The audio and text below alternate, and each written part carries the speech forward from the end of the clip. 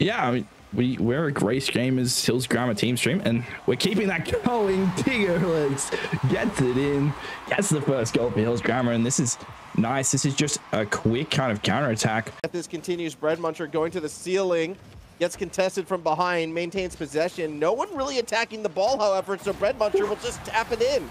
Our second attacker, Trillion, gets a light touch, but it will be cleared out safely by the rest of the defense. Timer will take down game one. We'll go to Hills Grammar. We'll see if the substitution gets made or if the Grace Gamers will stick with what they have. One last goal, though, for the world. Bread Muncher makes it 5-1.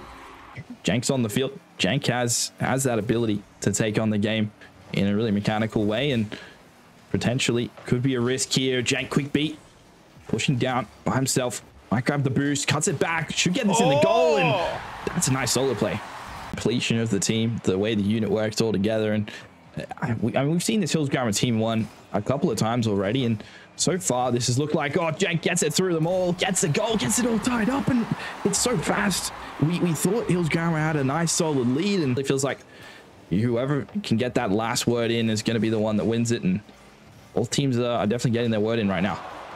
Yeah, I'm, I'm really concerned, though, for the Hills Grammar side if they kind of fall short here. Sorry, for the Grace Gamer side if they fall short here. I Had to line themselves up, but now it's to rotate back because here comes the Bread Muncher straight down the middle. We'll drive it straight into Jank. A demo, though, will slow Jank down. As we come back the other way, this time it's JD. Looking to play it through the side, has TJ underneath. Here comes the shot. It is down and in. Got to figure out another solution. And they've got to find something here. Let's see what they can find as Jank Looking to drop it down to JD. Bread Muncher doesn't get quite the touch they were looking for. Ball makes its way around the corner. Here comes the touch from JD. And all of a sudden, we're back within one.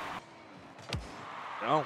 Kickoff underway. Ball pushed to the orange side. And it looks like the Breadwin Muncher is going to go ahead and get that first goal, only taking four seconds off the kickoff. And it was, and kind of aerially backwards in a really awkward uh, manner. Positioning helps you so much going for the ball and uh, yeah, in defense, the positioning hasn't quite been there, but in offense, it has. And Bread Muncher gets the second one for Hills Grammar, and they're only down by one now.